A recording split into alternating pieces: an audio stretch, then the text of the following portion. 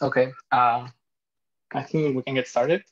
So hello everyone and welcome to the Vision and Graphics seminar. Today it's a pleasure to have uh, Gedas Bertasius who will be talking about video understanding with modern language models.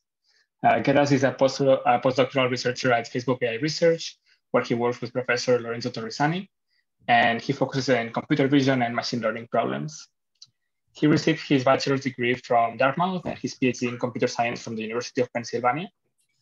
And his research focuses on uh, topics of video understanding, first person vision, and multimodal deep learning, where he has done very exciting works in these areas, including uh, MaskProp for object segmentation and tracking in video, which was nominated as a Best CVPR 2020 paper award, and more recently, TimeSformer, which is a network for video modeling that relies solely on self-attention.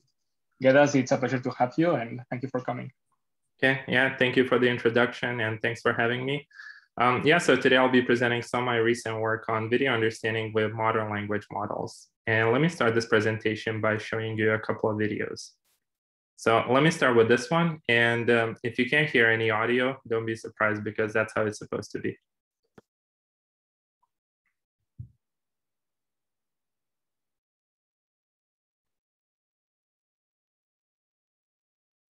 So now if somebody asked you uh, several questions about this video, for instance, who is this person? Who is he talking to? Where is he right now? What's his occupation? Most of you probably wouldn't be able to answer any of these questions unless um, uh, you're familiar with this TV show from before. So now let's take a look at the second version of the same video. Hello, sick people and their loved ones. In the interest of saving time and avoiding a lot of boring chit chat later, I'm Dr. Gregory House. You can call me Greg. I'm one of three doctors staffing this clinic this morning. So as you can see now, after watching this version of the video, most of us are able to answer all of these questions very easily. And so this kind of illustrates this idea that for lots of video understanding problems, just looking at the video modality itself, uh, sometimes it's not, it's not enough. And a lot of times uh, we also have to leverage other modalities and specifically language can be extremely informative to, uh, for understanding what's happening in the video. And so this kind of uh, motivates uh, my today's presentation. Uh, basically, we'll be looking at how we can incorporate language models to improve our video understanding frameworks. And specifically, we'll be looking at several different ways of how to do this. So first, I'll talk about uh, directly applying language models to the video domain, uh, specifically for action recognition problem. Afterwards, uh, we'll take a look at the framework that uses instructional language as means to supervise our visual models. And then lastly, I'll finish this presentation by considering several higher level video understanding tasks which we're gonna uh, pose as uh, language generation problems, and we'll see how we can solve those. So that's gonna be the outline of the talk, and let me start this presentation with this first topic of applying language models to video. So specifically in this case, we'll be looking at a supervised video classification problem. So given a video, our goal will be to classify it into one of the human action categories just as shown in this slide. And before I start describing uh, the framework that we developed for this problem, I wanted to take a step back and briefly talk about the modern language models, which kind of serve as an inspiration to the model that we're going to be proposing in this part of the talk. So as you're all probably familiar, in the last few years, the field of natural language processing has been revolutionized by these self-attention based models, such as the transformer model.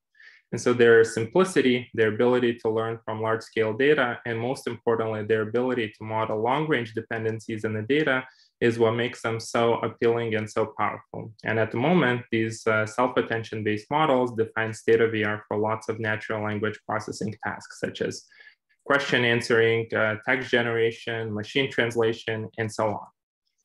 And so what is exactly the self-attention mechanism? So at a high level, it's a very simple operator. So consider in this case uh, as an input, we're given a sentence as shown in the slide.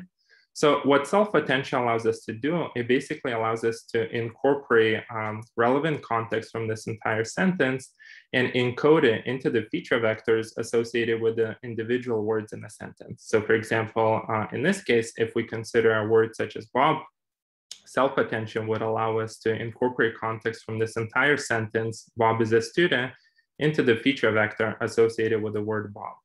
And why would this be useful? Well, now if somebody asked us uh, a question, let's say, what is Bob's occupation? Just by looking at this individual feature vector, we would be able to tell that in this case, Bob is a student because this feature vector already incorporates all of this contextual information. And so this ability to, to capture long range dependencies among words is what makes these transformer models so appealing. And of course, in this case, we can apply the self-attention mechanism for every uh, word in a sentence. And technically, uh, the self-attention mechanism is also very simple. It's nothing more than a weighted feature averaging. And we can even take a step-by-step -step look how it's actually implemented. So here X depicts a 2D feature matrix uh, at layer L, where every row uh, represents a d-dimensional uh, feature vector associated with one of the words in a sentence. So assuming n words in a sentence. Then we have these three learnable projection weights, which essentially allow us to map this initial feature matrix X into some intermediate feature space. And in the literature, these are commonly referred to as query, key, and value matrices. And we can simply obtain them by performing a matrix multiplication between this initial feature matrix X and these learnable projection weights. And lastly, the self-attention operation is actually implemented as a scaled dot product attention, which consists of three operations. So first we perform a dot product between matrices Q and K, and this basically just computes pairwise similarities between every single pair of feature vectors, or in this case, every single pair of words. Uh, afterwards, we apply softmax normalization to make sure that every similarity in this matrix uh, maps to the range between zero and one, and also to make sure that every row sums up to one, and lastly, we then perform a matrix multiplication between this normalized similarity matrix and this matrix V.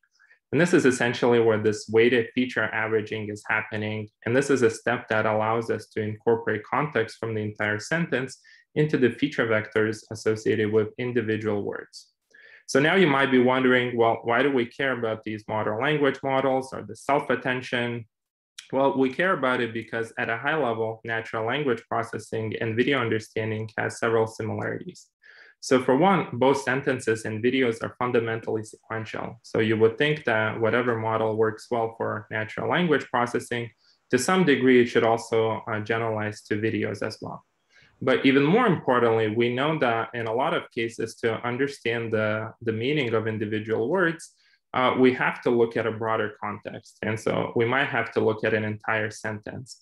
And similarly, you could argue that in order to understand uh, the atomic actions in short video segments, uh, we also need to leverage broader context and we might need to look at an entire video. And so that's why we believe that these long range self-attention based models uh, would also be very suitable for uh, video understanding as well. So that's kind of the motivation.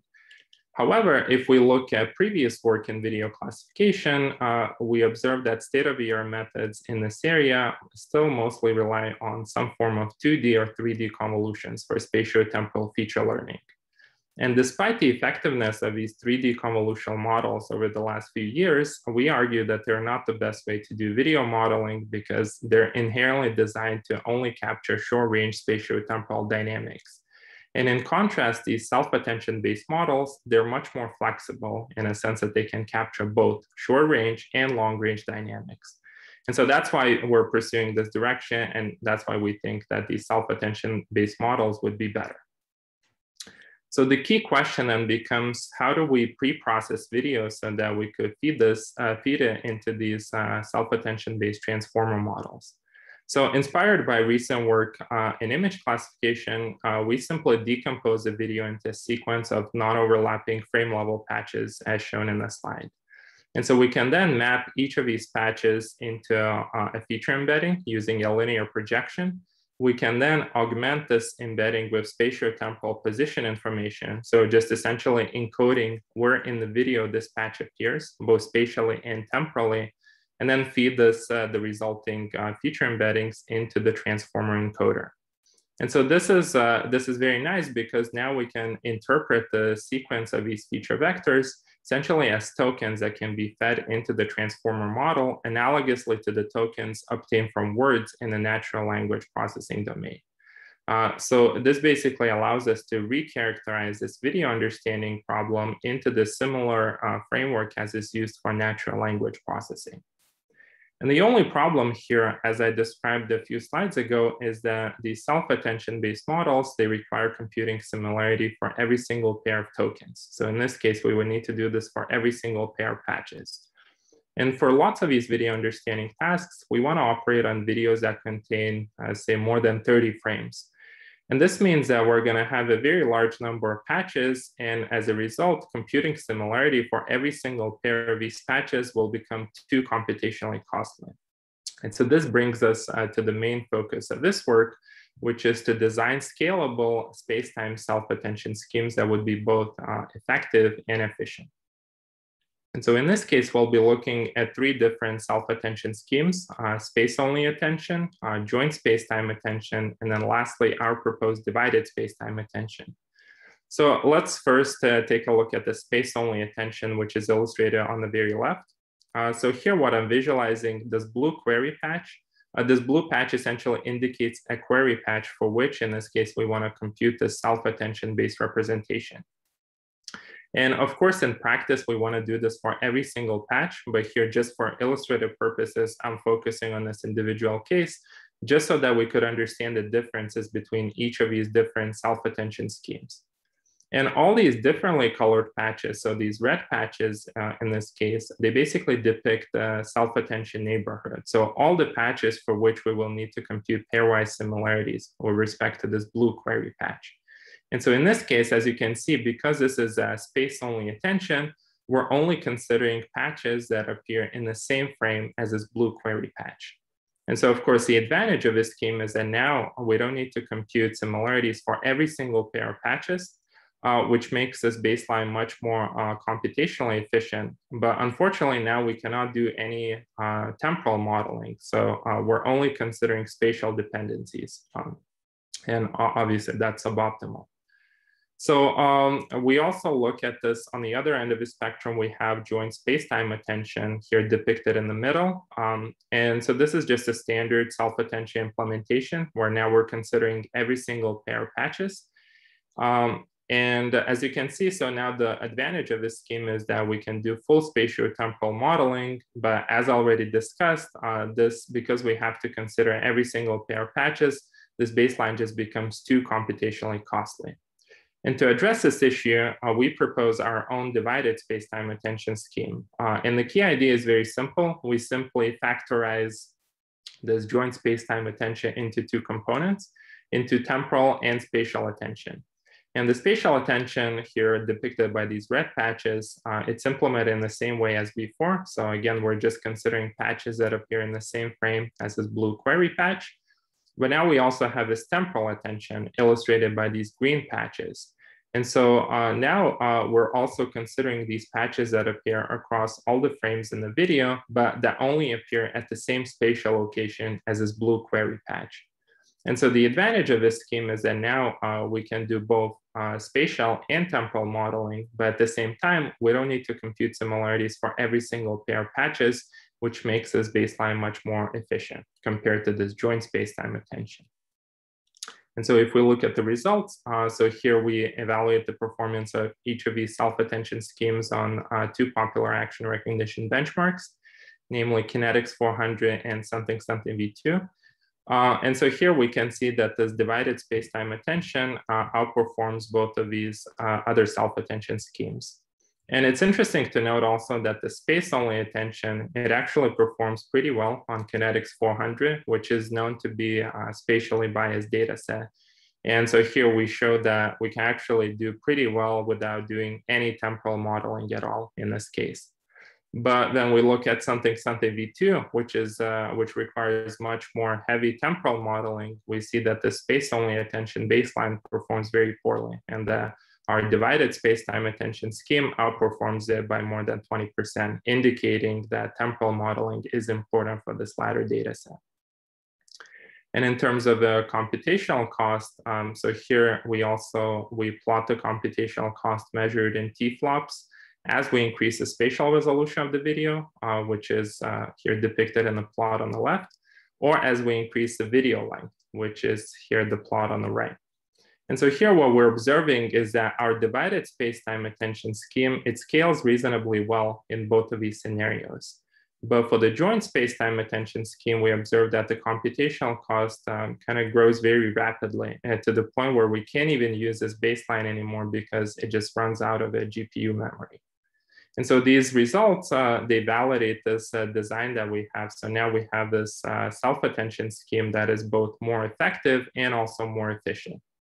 And so using the self-attention, we can then construct uh, our transformer model um, named from time and space transformer. And here we compare it to state of the art um, on, on, these two popular action recognition benchmarks, Kinetics 400 and Kinetics 600. And so here the comparisons are done uh, mainly with respect to these previous 3D CNN based models. And so here we again, we observe that uh, this timesformer model, it outperforms uh, all of these uh, different 3D CNN based techniques. And again, this kind of validates this initial hypothesis that we had. So we started this part of the talk by saying, well, maybe these 3D convolutions are not the best way to do video modeling. Maybe we can do something better. And we showed that by constructing a model that uh, mostly relies on these uh, self-attention based operations, we can uh, outperform these previous techniques. And also, so another exciting result that I briefly wanted to talk about is um, in the context of long-term video modeling. So one of the benefits of this timesformer model is that in this case, we can actually apply it on much longer video sequences than compared to these 3D CNN models. So in this case, uh, we can, the, the, scalability of our model allows it to operate on uh, 96 frames.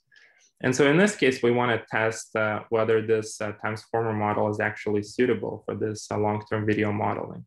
So what we do is we consider this instructional video data set it's a, it's a large scale instructional video data set con that contains more than 1 million video clips. And each video um, in this instructional data set is uh, on average about seven minutes long. Um, and so also each video has this um, task label, which essentially depicts what kind of tasks people are performing in those videos. So for example, maybe making breakfast, cleaning a house, repairing a car. And so these are the kind of activities that uh, require longer term video modeling. So not just looking at five to 10 seconds of the video, but actually understanding several minutes of it potentially. So uh, what we do is we construct the benchmark out of this data set where we consider these uh, about thousand of these long-term action categories. Um, and then we wanna see how well our model does on this benchmark. And here we compare our timesformer model with respect to a few variants of SlowFast. And so here, let me just briefly try to uh, explain what this table illustrates. Um, so here, the single clip coverage essentially denotes a number of seconds spanned by a single clip. And this is controlled by two variables, essentially the number of input frames and also the frame sampling rate. So for example, this first SlowFast baseline, uh, we're sampling frames with a, with a rate of one over eight. And so the with a single clip, it can span about eight and a half uh, seconds in the video. But if we if we use a different sampling rate, for example, a one over 30, so now meaning that we're sampling every 30th frame, now this uh, the same SlowFast baseline, can, it can span much longer video extent, so uh, about 34 seconds. And so here we also showed that our model, um, so we can, by considering 96 frames, in this case, we can span uh, almost uh, several minutes, so about 100 seconds in length, uh, which is a significant departure from these previous 3D CNNs. And also to make the comparisons fair, so the, the number of test clips here just basically uh, denotes the average number of clips that are needed to cover the entire input video uh, during testing. So we make sure that um, even if a single clip coverage is low, that during inference, we're sampling more clips to, to compensate for that so that each method sees an entire video during testing.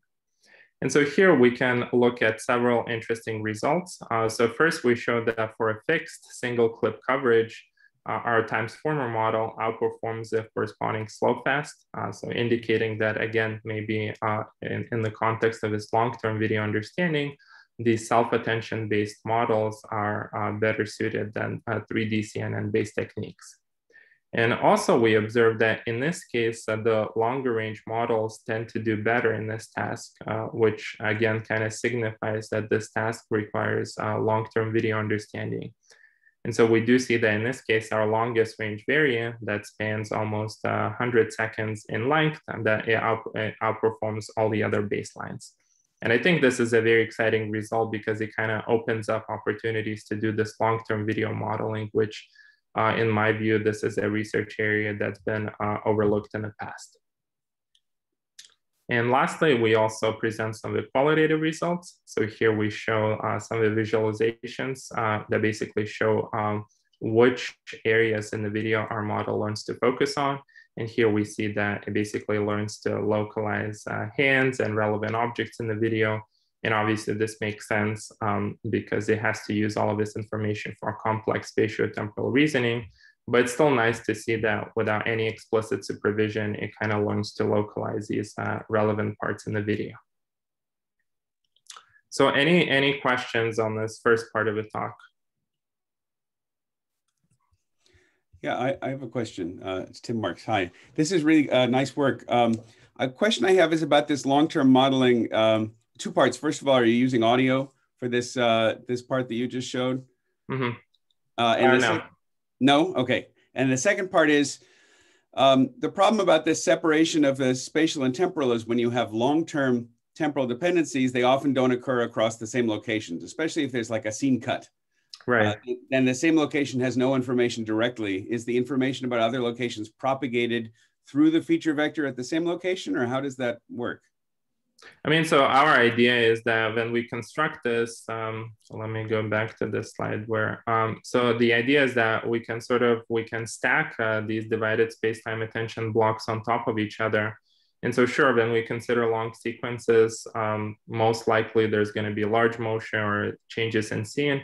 But even if there's large motion, the idea is that the spatial attention kind of aggregates all of the spatial information beforehand and then uh, the temporal attention can already operate on the, on these uh, patch representations that already capture spatial context. And by doing this many times, uh, we're hoping that this will minimize this issue that that happens. You know, if there's large motion. And I think you know the so it might not be the best way to do this, but the results that we have they're promising and maybe you could improve it by considering a more complicated scheme that maybe incorporates larger um, spatial extents on the temporal axis but yeah. So that's that's again something to explore in the future. So in this case like the picture on the right here each of these green squares uh, would have uh, information from the other uh, spatial locations in that time step already propagated into it. Is that the idea uh, yeah, the idea is that so we have 12 of these divided space-time attention blocks. So in the first block, it might not have the spatial attention, but later on, the yeah, the information will be propagated through spatial attention. Got it. Thank you. Okay. Um, so, uh, uh, uh, sorry. So, I also have how uh, I also have a quick question about uh, how about your model efficiency because you most talk about um, uh, the accuracy. And uh, mm-hmm. I'm not sure if you, you compute I mean, the backbone and also the inference latency mm-hmm. of your model. So the efficiency is um, especially, so we consider a few variants. Uh, so one variant that sort of operates on shorter video clips and the efficiency of that um, is very good, both in terms of training and inference. Uh, and especially, um, so one of the things that I haven't had uh, time to talk about is that so uh, whereas these 3D CNNs, they usually oper operate, they require about 30 clips during inference. Hmm. Uh, and this creates uh, kind of lots of computational overhead. And our model can obtain very good performance just by sampling three clips. And so this significantly reduces the inference cost. Um, yeah, and in terms of training, so we have some numbers in the paper that it's also, it takes uh, faster to sort of, for these models to converge so I would say, yeah, the trade-off uh, is favorable. Um, um, but I think that most of of the so I'm sorry. So I think most of the the table you showed on your table actually is not an efficient model at all. I mean, I mean, for example, I I uh, the the written at 3D actually is very mm -hmm. slow to inference. I think it might be interesting to also to compare some efficient models such as temporal shift module Mm-hmm. Uh, I mean that kind of model, and uh, I think this is uh, yeah, mm-hmm. my question about whether it's. Mm-hmm. So that's something, you know, yeah, we didn't explicitly optimize for efficiency. So I think there's still work that could be done in this area. But even now, you know, without having uh, optimized this uh, too much, you know, I think the the speed is reasonable. And I think, you know, there's possible that it could be also substantially improved by future work. Okay. Okay, thank you. Mm -hmm. Okay, so let me now, um, yeah, go with the second topic of uh, trying to learn um, visual representations from instructional speech. And here to, to motivate this problem, um, I again wanted to show you another video. So let's take a look. Breakfast. Never get a chance to eat it Monday to Friday, but Saturday, Sunday, however, is the time when everyone should have a proper breakfast. My perfect breakfast, scrambled egg, sauteed mushrooms, and tomatoes. The most important thing about any scrambled egg is stopping it from overcooking. To serve with scrambled egg, flat cap mushrooms. Just keep them whole and put them in the pan. Lots of olive oil, a little bit of salt, a little bit of pepper, vine tomatoes. Best way of roasting these is actually keep them on the vine, in the pan with the mushrooms. Right, just let those mushrooms and tomatoes sit there in the pan on a low heat and they'll cook themselves. So essentially what we're seeing here is an instructional video where this famous chef Gordon Ramsay is teaching us how to make breakfast. And because of the instructional nature of this video, we're observing that his instructional speech aligns very well with the video content. So for example, he's talking about these mushrooms and we see that the video zooms into the mushrooms or he's talking about uh, frying tomatoes. And in the video, we see him putting tomatoes in a frying pan. Uh, and so that's basically the idea that we want to exploit. So we want to uh, essentially use instructional speech as means to supervise our visual model. So kind of exploit this alignment between the two modalities. And specifically in this case, the problem that we're interested in is we want to learn a rep representation that would be useful for understanding how humans interact with objects. And this is an important problem because even just recognizing which objects people are interacting with already provides us with lots of useful cues about that person's behavior. For example, um, what that person is paying attention to, what kind of actions uh, he or she is performing, what uh, their intentions might be, and so on. And so when we consider these human object interactions, the key challenge becomes is that lots of these objects exhibit extremely dramatic variations in their appearance. So for example, in the case of tomatoes, we can see that they can be chopped or halved, liquid or solid, fresh or fried, red or green. So lots of different states of these objects, lots of different actions that can be applied to them. And in this work, our goal is to learn a representation uh, that in a sense would be able to capture what we refer to as all of these contextual cues behind these human object interactions. And so this is in contrast to prior work, which mainly detects objects at a very coarse level, with label spaces usually expressed in terms of nouns, such as egg, fish, plant, me. And so in this case, um, for example, in addition to being able to recognize that there's an egg in this uh, image, we would also know its, uh, uh, its state, what kind of action has been applied to it, and maybe even what other accompanying objects are around it. So that's kind of the goal. And we're not the first to look at this problem. There's been several prior methods uh, trying to solve this problem as well. But the main limitation of this prior work is that they essentially rely on uh, manually labeled data for this problem. And when we consider this specific problem, um, I think you know this this creates lots of problems because even if we just consider a single object category to list all of the possible states of that object, all of the possible actions that can be applied to it, just, the label space just exponentially explodes. And uh, in order to get all of this label data, uh, we would need to spend lots of time, money, and resources uh, to do this. So in my view, this is, it's completely unscalable and impractical to do that. And so that's why we want to move away from this, um, from human supervision and try to find alternative ways of how we can supervise these models. And so specifically in this case, uh, we're going to be using this recently introduced How to 100 million dataset, um, which contains um, over 1 million of instructional clips where now also each clip uh, has a automatically transcribed speech narration associated with it where these speech narrations, uh, people are literally describing what they're doing in those videos. And so this is a perfect data set for our purposes because it contains lots of human object interactions. And now we also have these more detailed descriptions of what people are doing with those objects. And the only thing that's missing in this data set is the actual bounding boxes. So in this case, in addition to being able to uh, detect these contextual cues of human object interactions, we would also want to be able to localize which objects people are interacting with. So to address the shortcoming uh, of the data set, we use a very simple scheme. Um, so we take a pre-trained object detector and we then just run it on the frames of how to 100 million.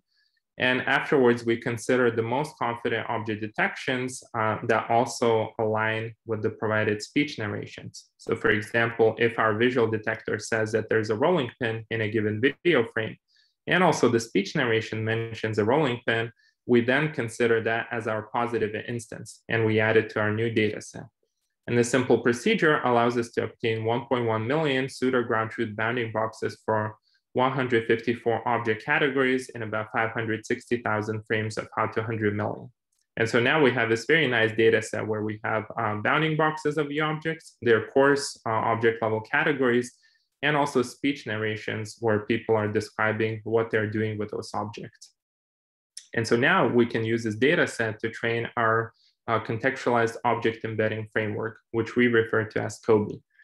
So our system takes as input a video frame with an automatically transcribed speech narration. And first, uh, we feed the speech narration through a pre-trained transformer-based language model, which outputs contextualized word embeddings for every word in the sentence. And as already mentioned in the previous part of the talk, the key characteristic of these transformer-based language models is that in this case, these contextualized word embeddings capture information not only related to the word itself, but also from the entire sentence. So for example, the feature vector associated with the word egg also captures information related to the contextual action of breaking and also a contextual object of bowl. And so in a sense, it's exactly what we wanna do, but in the visual domain. So just like these language models learn uh, contextualized representations for words, so too we wanna learn it for objects in the visual domain. And so to do that in parallel, we also feed a given video frame uh, through our visual detection model, which in this case corresponds to a modified Faster R-CNN. And the key difference here is that instead of using a standard classification branch, which would simply predict a coarse object level category, now we have this contextualized object embedding branch, which outputs continuous vector representations for every detected object instance. And to guide these predicted object embeddings to be similar to the contextualized word embeddings, we then use a contrastive loss function. And this contrastive loss function is implemented using the formula um, illustrated in the slide. So basically here F depicts our predicted visual object embedding. G plus describes a positive word embedding uh, that actually um, that is used to describe uh, an object in a given video frame. And G minus are basically all these uh, vectors corresponding to the negative word embeddings that are not related to the object in a given video frame. And so by optimizing our model with respect to this loss function, basically what happens is that the model learns to um, produce a visual representation that is similar to this positive word embedding, but is dissimilar to all the negative word embeddings. And also as a byproduct of doing this, uh, in a sense, the model learns to align visual and textual representations. And so our visual, our final visual representation uh, basically lies on the same manifold as all of these textual feature descriptors. And so because of that, afterwards, we can apply COBE for various text-based application uh, applications. And the first application that we consider here is object-to-text retrieval, where uh, given a visual query in the form of a detected object instance, uh, our goal is to retrieve most similar text. And in this case, the text comes in the form of object context tuples, where object depicts a coarse object level category and context can be any other word providing some contextual information about that object. And so here we visualize some of these retrievals. So the green bounding box depicts our visual query and the text below is the most similar text retrieved with respect to that query. And from these results, we can observe that the model learns to capture a diverse set of contextual cues. So for example, in the first column, we see that the model detects that there's onion and that there's a pan, but now it also knows that the onion is chopped, the pan contains onions, and also that these onions are being sauteed. Similarly, in the third column, uh, the model detects that there's a tomato, but now it also knows that this tomato is being sliced, that there's a knife nearby, and the, that these are cherry tomatoes.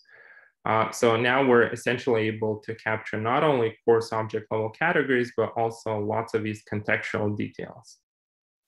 And we can also reverse this task. So instead of doing object to text retrieval, we can also do text to object retrieval, where now given a textual query of the same form, we can retrieve most similar object instances in COBE space. And here we visualize some of these top retrievals.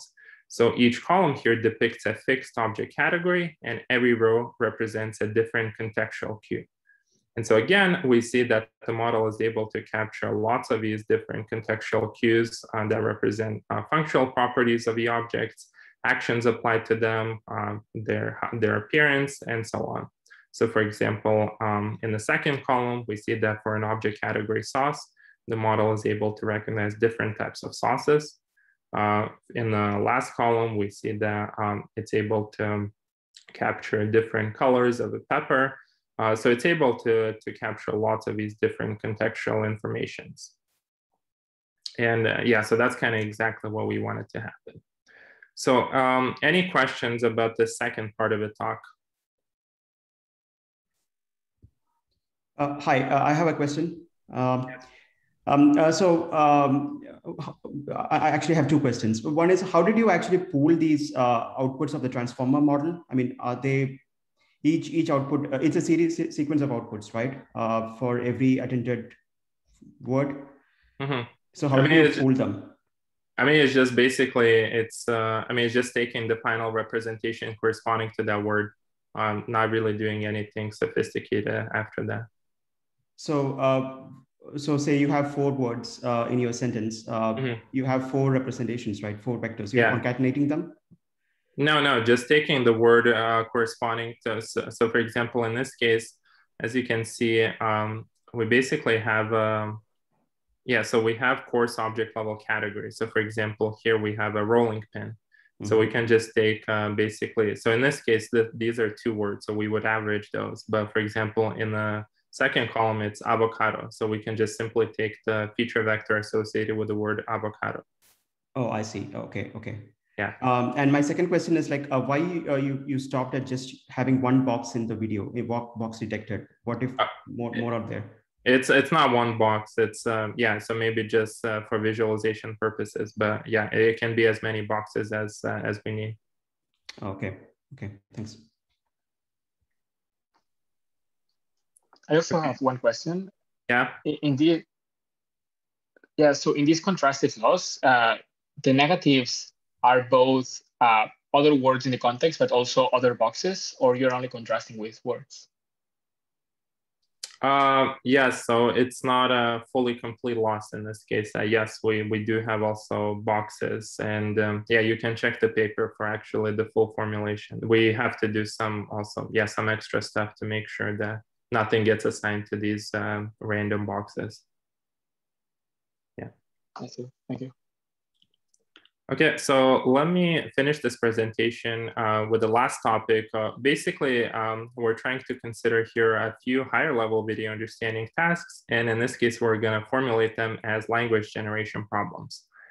And so specifically here, the setup that we consider is as follows. So given multimodal inputs consisting of video plus text, speech, or audio, our goal is to solve three different video-based text generation tasks. The first task is video captioning. So given these multimodal inputs, our goal is to generate um, a caption describing what's happening in the video. Uh, the second task then is question answering. So now maybe in addition to these previous uh, inputs, we also have a question. And so now we would wanna generate um, an answer to that question. And the last task that we consider is dialoguing. So now maybe instead of a single question uh, as part of our inputs, we might now have an entire dialogue history. And then the model would have to generate uh, an answer in response to the last question in this dialogue history. So those are the three problems that we want to solve. And in this case, um, before I start describing our method, I wanted to talk about some of the prior work uh, in this area. So this is a pretty new subfield of computer vision. So there's not a lot of work done in this area, but there are a few methods. And so specifically, I wanted to talk about this HERO system, which was state of the art before our work. And specifically, I wanted to talk about some of the limitations of the system.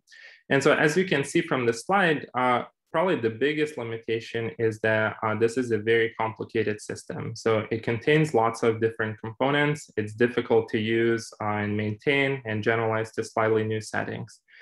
And so our goal essentially is to simplify this entire pipeline. And so one of the reasons why this uh, prior work is so complicated is exactly because of the multimodal nature of this problem.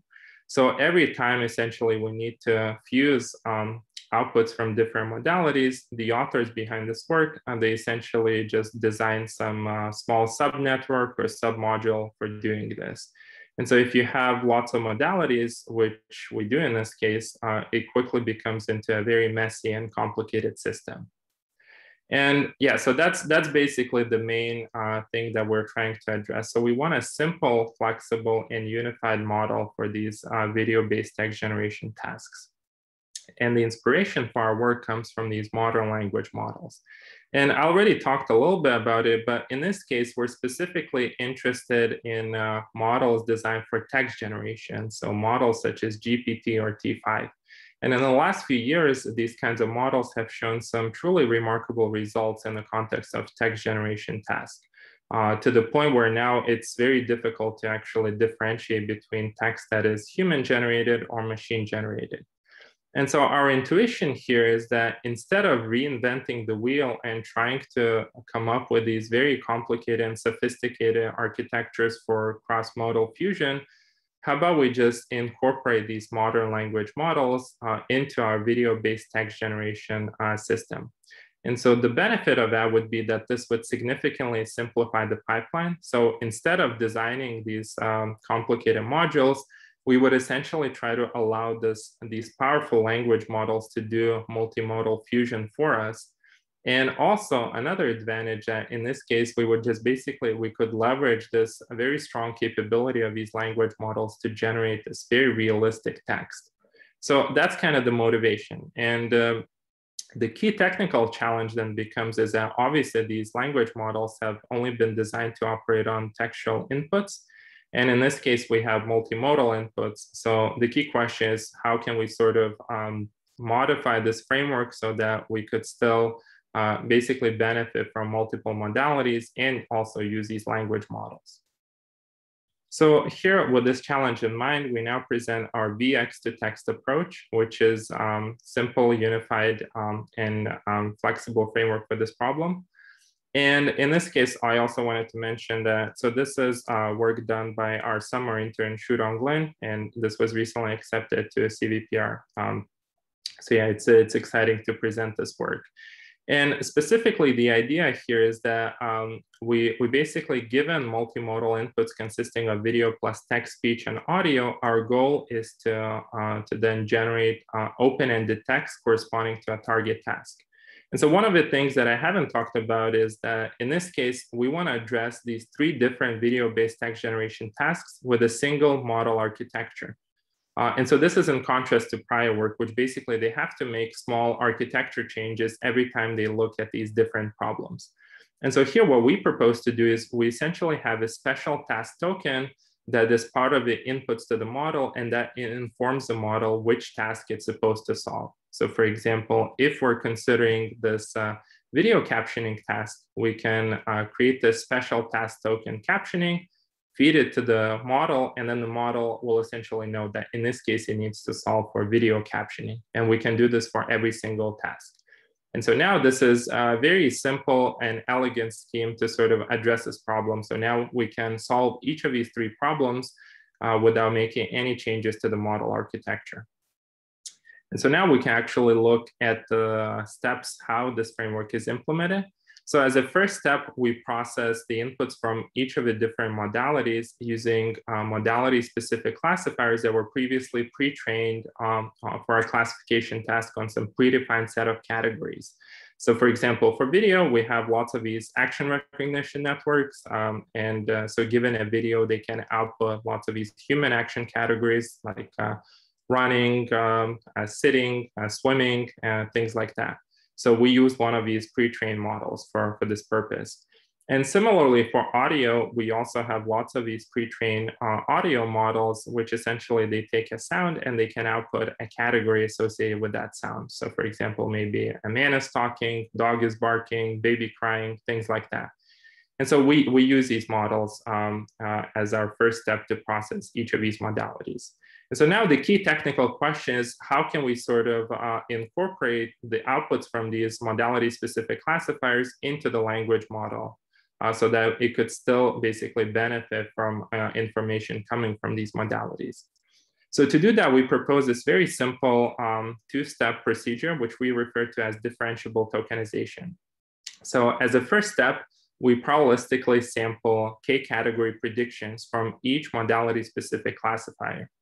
And afterwards, as a second step, we consider the category names of these sampled predictions and we map them into the uh, unified language space using a fully connected layer. So very simple scheme, but it basically allows us to, to map uh, the outputs from each of these modality specific classifiers into the language space just by uh, leveraging this fact that we know the, the names of the categories that these classifiers are predicting. And the nice thing about this differentiable tokenization is also that it's fully differentiable, meaning that um, and I'll talk about this a little bit, the, uh, the entire framework could then be uh, trained um, end to end, including these modality specific classifiers. Uh, and we show in the paper that this is quite important. And so now that we have this unified language representation, we can then feed it into our generative language encoder decoder model. And so in this case, the purpose of the encoder is to essentially compute this uh, task specific information for, from each modality. So as you can imagine, for video captioning, we mostly need to look at the video. Um, and then, um, so that's basically where the most relevant information is. But for example, if we consider a video question answering task, then we also need to pay much more attention to the question itself. And so it's a responsibility of the encoder to sort of figure out how to, how to incorporate information from all of these different modalities to maximize the performance for each of these target tasks. And so once the encoder does that, we can feed this uh, representation to the, um, to the generative decoder, which then outputs this free-form text corresponding to our target task. And in this case, the decoder does it in an auto-regressive manner, meaning that in this case, it reuses the previously generated words to basically uh, to inform itself uh, what kind of other words it needs to generate. And this is very important because it allows us to generate this very smooth and realistic text that, that looks exactly what, what humans might say.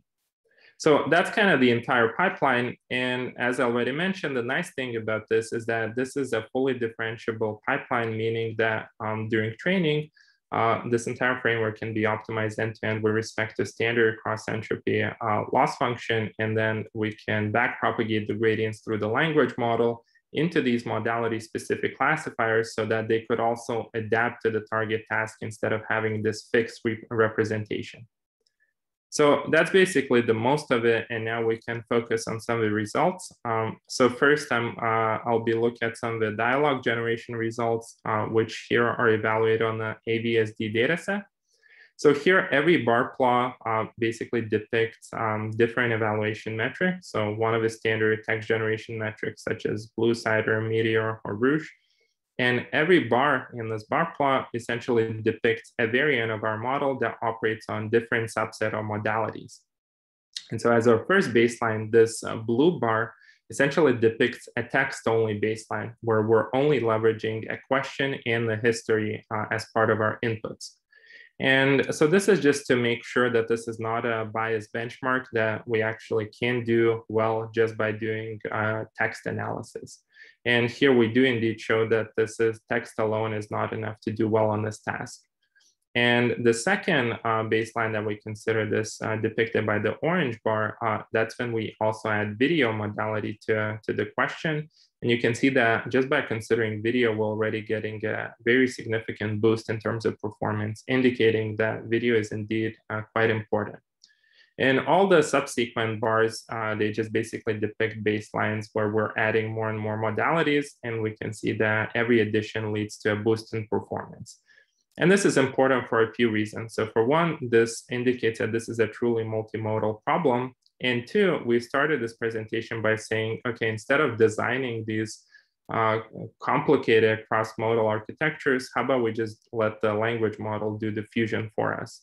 And here we do show that even though we're not doing anything specialized, the language model just figures out how to incorporate all of these different modalities uh, to maximize the performance. And so this, this just indicates that maybe there's no need to design these very complicated architectures. And quantitatively, we also showed that our model, um, in this case, it achieves state-of-the-art uh, results on, on this benchmark.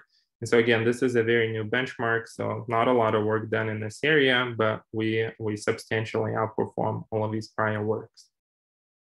Um, next, um, yeah, so I'm also, I wanted to show some of the qualitative results for this task. And I think these are the results that are really interesting and are quite impressive. Uh, and so here, if we look at the video sequence on the left, I think, you know, this is a particularly challenging sequence that even for humans, I think uh, answering these questions would be quite difficult. But you can see from the generated answers that the model is doing quite well. Um, and what's really impressive for me is that if you look at this last question where um, the, the question is what's on the table next to her, uh, the generated answer of our model is, I can't tell what's on the table. And so we're, we usually don't expect these kinds of responses from these models. Uh, we just usually expect these AI systems to kind of take a random guess. But in this case, it's responding in the same way as to what, what a human might say. And in, in a sense, uh, it's, um, it's, uh, it's reasonable because um, the model is essentially trained to mimic uh, how humans respond in these situations, but it's still impressive that it's able to, to do this pretty well. Uh, we also look at uh, another benchmark. So here, this is video question answering benchmark and uh, evaluated on TVQA data set. And so here, the, uh, the performance is evaluated using just a standard accuracy metric. So we have to pick a correct answer out of five candidate answers. And again, here we show that um, our model outperforms all previous methods, including the state-of-the-art HERO uh, method. And one interesting thing to notice here that this HERO method, it only works well if it's also, it has this large scale multimodal pre-training beforehand. So if it's pre-trained on this paired video and text data. And our model does not use this large scale multimodal pre-training and we're still able to outperform this model. Um, and especially if you look at this HERO baseline without pre-training, we're able to outperform it by a pretty significant margin. Uh, and lastly, uh, I also just wanted to show some qualitative results for video captioning. Um, yeah, and so again, I think these qualitative results are quite impressive because in this case, if you look again at the video sequence on the left and um, into our, the generated description, you can see that the model is able to uh, generate a caption that uh, pretty accurately describes the content of the video. But what's even more impressive that it's able to even incorporate the character names. Um, and so of course it's able to do this because um, these names are listed in the speech transcripts, which in this case uh, we're using. But this is still not very trivial thing to do that basically the model needs to figure out what each of these characters are doing. And the fact that it's able to do that is, is quite impressive. And I think uh, it's exciting to consider these kinds of models for, uh, for future applications as well. So with that, um, yeah, so I just wanted to quickly uh, summarize. So we looked at three different ways of how to use language models to improve uh, various video understanding frameworks. And first, I talked about this TimeSformer model, a fundamentally different way to do video modeling. And we showed that compared to these standard 3D CNN-based techniques, we can uh, outperform them on standard action recognition benchmarks. Um, then later, I talked about this COBE system, which basically we showed that instead of relying on manually annotated human data, in this case, we can learn these powerful representations just by using um, automatically transcribed speech from instructional videos. And then lastly, um, I presented this uh, very new Vx2Text approach, and we showed that uh, we can consider these higher level video understanding problems essentially as language generation problems and with this simple, unified, and flexible architecture, we can address all of them. Um, so that's also pretty exciting. And I wanted to acknowledge my collaborators, which uh, who contributed um, uh, to this work. And now in any remaining time, I'd be happy to answer any questions. Thanks, Gedas, for the great talk. Um, I guess we have time for one or two questions.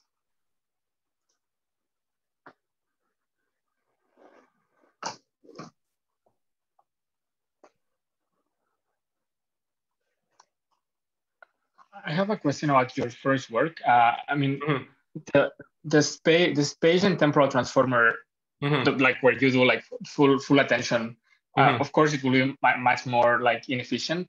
But I'm mm-hmm. wondering if you have any thoughts on why it's also like lower in performance. Uh-huh. Uh, yeah, great question. And um, yeah, so I didn't have too much time to talk about this, but one of the things that we do, we actually have um, separate set of parameters for spatial and temporal attention. So basically what happens is that we have this model, um, our TimeSformer model that uses divided space-time attention. It has way more parameters, but its complexity is actually lower. So it has a larger learning capacity, but it's also more efficient. And so I think that's one of the reasons why, um, so it can basically just learn more effectively. Um, and also another thing, maybe, you know, maybe Kinetics is not large enough for the joint space-time attention. Maybe it's overfitting because it's considering all of these pairwise connections. So um, yeah, so I think those are two potential reasons.